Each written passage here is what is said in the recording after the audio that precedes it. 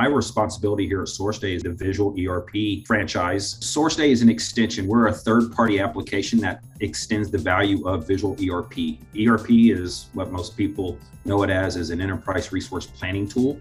So that is uh, what they're running their manufacturing operations on.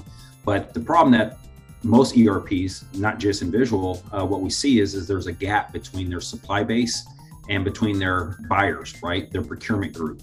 So what we're doing is we're bridging that gap with a technology called SourceDay that is in a collaboration engine. So we're getting, you know, the buyers and the suppliers out of the world of constant communicating through emails, phone calls and spreadsheets because it's very siloed communication. And what we're doing is is we're bringing other stakeholders within the business onto a platform for the collaboration. So now there's more visibility, there's more accountability, right? So it's less risky when you have other stakeholders that are in tune and in line with everything going on with purchase order and purchase order management. So that's what we're doing is we're again we're an extension of Visual. Uh, we are an approved third-party application, and uh, as I mentioned, we bridge the gap between the procurement group and all their raw material suppliers. What we see, and again, from my background in manufacturing, and even 20 plus years ago, it's the same. We always see buyers are in what we call a reactive mode. It's not, um, it's more of a tactical approach and reactive because they're chasing down suppliers, they're chasing down late purchase orders, they're even chasing down the, the initial time they deliver a PO to a supplier, and that's the acknowledgement which to us, the acknowledgement phase is probably the one of the most critical phases of the life cycle of that PO. Because if you don't get a supplier to acknowledge that PO, how do you know that they even received that PO because you sent it in an email? Right. So through automation, we're going to drive that uh, acknowledgement process.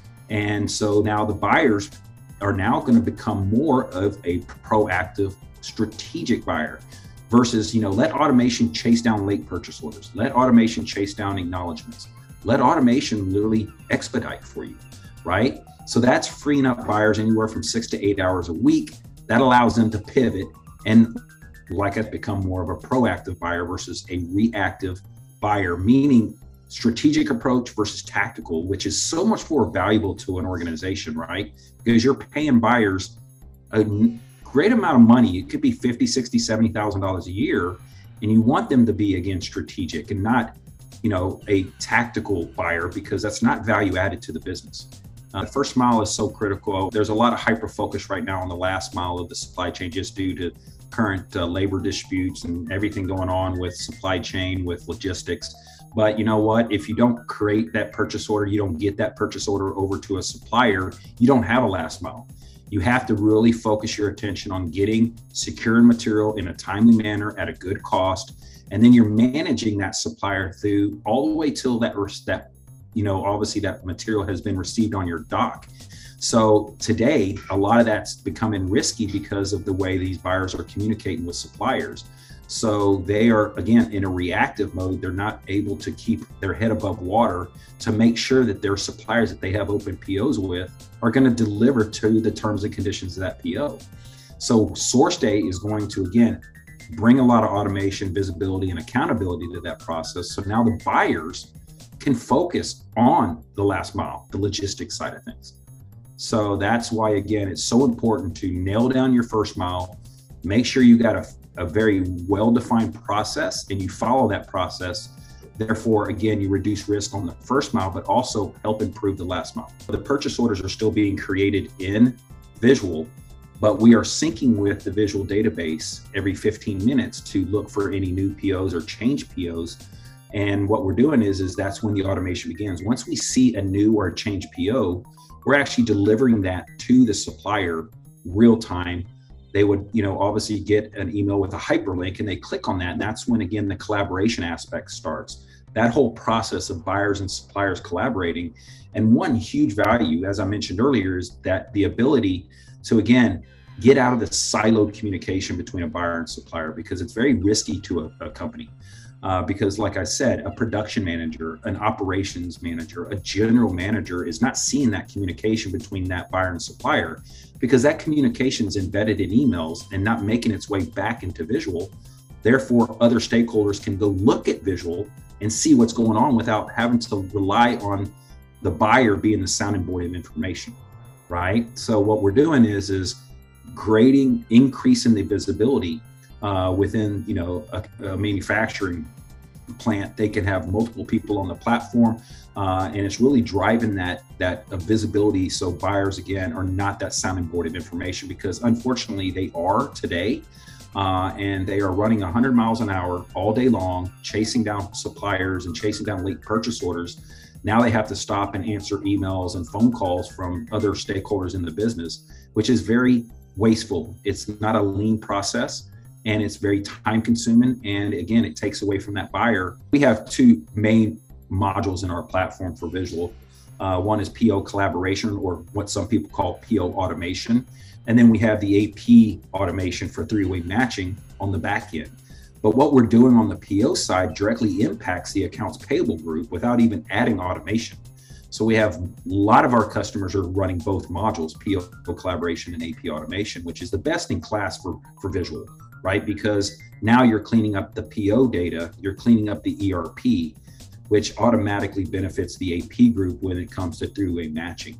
So we have, you know, several customers. One that comes to mind right away is Napoleon. Uh, they're based out of uh, Canada. They're a grill manufacturer. They do fireplaces. Uh, they were one of our early adopters uh, of the AP platform.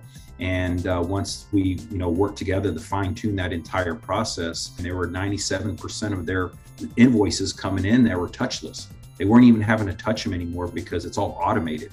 Therefore, they can obviously um, take advantage of early payment discounts because they're paying on time.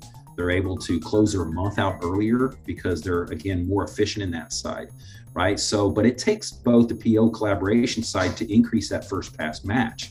If not, if you just run AP automation, you're not going to see as high success because of what we're doing on the PO side. So that's one success story. And we have several others that are reaping the rewards and the benefits. The ROI, it's it's a slam dunk for both PO collaboration and AP automation because again, it's such a manual, inefficient way that there's so much room for improvement and and in you know becoming more efficient in both both again PO side and the procurement group and the AP group. That goes back to how are the buyers today managing their business with suppliers? How they manage in purchase orders, purchase order lines. I don't really ever talk on a, on on calls with executives about PO management. It's PO line management, right? Because a purchase order could have 50 lines on it and that poor buyer has to manage 50 different potential due dates right? So that is again very time consuming. But back to you know stopping you know misses at the source we are a proactive platform. We manage by exception. We want buyers to focus on exception management and not the tactical day-to-day process of managing that po let SourceDay let's you know again technology take care of that and what that is, is a great example. One of the um, uh, modules within the, the PO collaboration is called Radar. So when we talk about being proactive, this is a functionality of being able to give the buyers a tool to go and confirm every open PO that they have. Right today, what they're doing is is they're calling and emailing suppliers and asking if they're still on time, if they have the time to even do that, because they're constantly in reactive mode. So what SourceDay does is we built the radar functionality. Now you can put suppliers in a radar cadence, meaning 30, 30 day radar, 45, 60 day radar. And anytime a PO falls into one of those cadences, we will personally, on the behalf of the buyer, reach out to that supplier and, and ask them, are they still on time? This again is so critical because that's how you stop misses at the source, right? Because now you're being proactive. We are not going to stop a supplier from running late we don't control their capacity. We don't control their raw material spend, their labor, right? We don't control that. But what we can do is be very, very proactive in catching a late before it becomes late. Because when you do that, you literally can pivot. You there's so much opportunity for, you know, correcting a potential miss right? You can collaborate, you can communicate with the production team, you can let your customer know that you're going to run late because you knew two weeks in advance that that purchase order was going to run late. So, those are again stopping misses at the source, is being proactive. I say it a lot, and versus reactive. When you're in reactive mode, you just open up a whole can of literally just risky opportunities to impact the business. So that's why, again, our slogan, Stop Misses at the Source, is so critical and it, it happens every day.